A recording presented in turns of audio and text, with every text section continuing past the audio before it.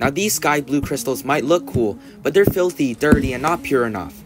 Today, I'm going to take this contaminated copper sulfate and turn it into pure transparent crystals worthy of a chemistry lab, and I'm aiming for a purity of at least 99.1%. So I think it's time to get to work through a process that somehow became really labor intensive.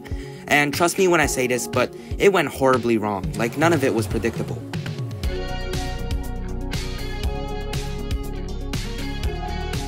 This is half a kilo of cupric sulfate, aka copper 2 sulfate, or 500 grams of it.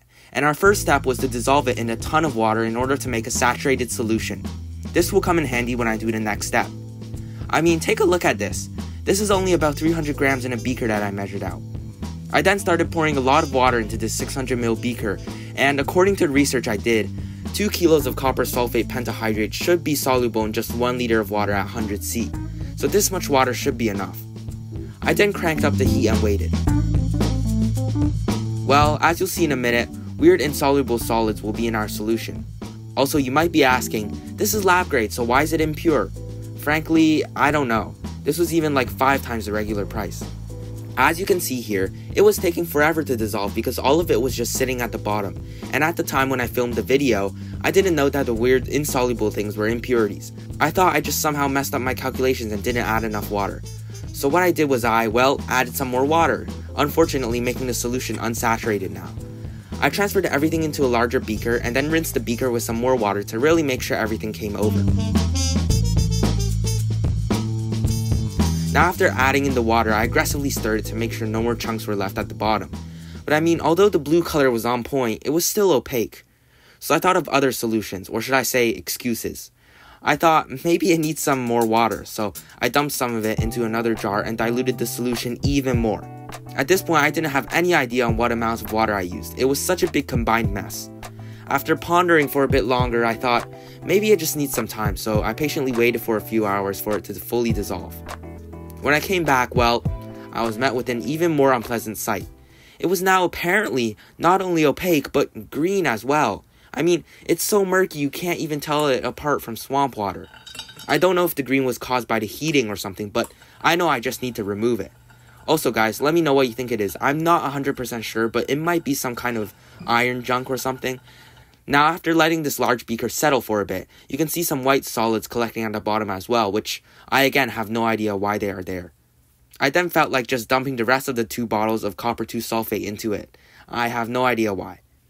What's the only way to get rid of it? That's right, filtration. So I got one of my favorite pieces of glassware, this fritted funnel, and I decided to vacuum filter it. After pouring in the solution, you can see how it removed some of the green murky solids, a lot of it staying on top, but much of it still made it through, probably due to the vacuum that I pulled, leading to the solution being still slightly contaminated. I decided to just go with it for now, but in hindsight, perhaps pulling a vacuum was not the smartest idea. Gravity filtration could have completely prevented the problem of it getting through.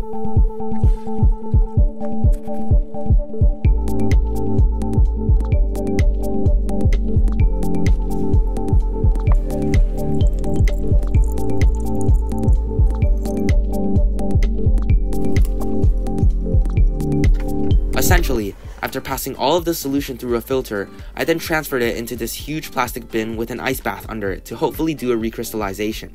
Looking back, I don't even know what I was thinking. I mean, there's still clearly so much excess water in there. And yep, as you might have guessed, after leaving it there for two days, not only did no crystals form, but the greenish yellow impurities started to settle to the bottom again. You can still see the amount that made it through. Now I was quite disappointed because it meant I had to basically refilter everything, either patiently with a very fine gravity filtration or passing it through vacuum filtration multiple times. I decided to go through the second route, and well, as you can see here, when trying to transfer the liquid, I spilled some. Yeah, my yield is going to suffer. Anyways, here you can see me spending half a day passing it all through, and uh, I realized it wasn't going to work. So back to plan A, which is the gravity filter. It. So what I did is I did a gravity filtration through a vacuum filtration. I know, sorry, this is so cursed, but it ended up taking so long because of how slowly it drips. This is a downside to getting something of really high purity though, so I accepted it. It was coming through much, much clearer than it was before, so that's some good progress. While that was happening, I remembered the fact that I still had too much water, so I got to boiling it away on the other half of the solution that was not currently being filtered. These two steps were done simultaneously, by the way. Also, this was off camera, but I accidentally spilled a bit more of my solution while moving stuff around. I know, silly me. Anyways, you can see how clear the solution coming over via gravity is. I don't know if it's just me, but it looks kinda nostalgic, like that 2010s Minecraft water. Now that the first part of the solution coming over was looking nice and blue, it was time to pour the second part which I was boiling, through the filter as well. Here's where I made a crucial mistake. This was the boiled mixture, meaning it was pretty saturated. So after leaving my lab for a few hours, when I came back, the entire thing has crystallized into a brick. Oh. This is like horrible, and I mean it. I tried prying it and breaking it up, washing it multiple times. Nothing worked. It was just completely stuck onto the fritted funnel. Well, this was a last resort, but I guess we're going to have to use some heat with a blowtorch. This would hopefully free up the chunk. I mean, it looks like it's working until. Yeah, it cracked. More of my solution was pouring out again. And okay, I know I am notorious for this. While Heisenberg is breaking bad, I'm literally breaking glass. This is like the fourth time, I swear. I was extra careful this time as well, in fact, making sure to spread the flame around it, but I guess I should just use a heat gun in the future, as Dangerous Lab proposed. Now, after filtering it through paper towels, coffee filters as well, none of them were fine enough to trap the particles, and with no fritted funnel, I guess that's that. This means I'm going to have to do what I really didn't want to do a recrystallization with insoluble impurities still in it. I went ahead and boiled down the total solution, and the fact that it was still so opaque made me uneasy about going for a recrystallization.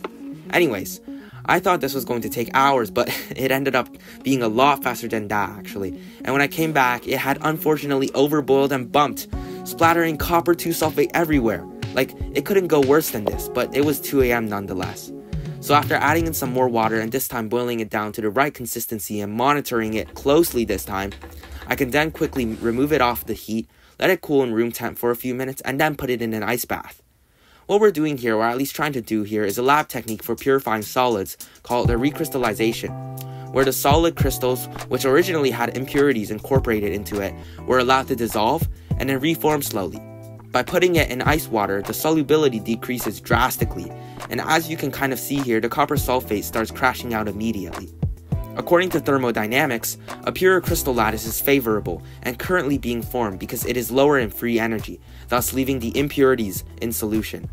After waiting a night and scraping out the pure parts and doing my best to leave the solid impurities earlier at the bottom, then rinsing the crystals with acetone, this is what I was left with. Honestly, it's not perfect or, I mean, even great at all because my yield was only around 60%. This was due to the losses throughout the process, which could have easily been prevented, but Mistakes were made, and to be fair, I was pretty distracted as well with the building of the fume hood and other projects that were going on, so I was relatively busy while making this video in the background. Now I'll be using this pure copper sulfate to do other cool projects in the future, and leave any suggestions or guesses as to what I'm going to do in the comments. Again, I really want to thank my Patreon supporters for making these projects more affordable, and I will provide behind the scenes, early access, shoutouts, and more. If you would like to support a high school student like me, just $3 will go a long way in helping this channel to continue providing quality and educational chem content. Anyways, thank you for watching till the end, and please consider subscribing by clicking the subscribe button below.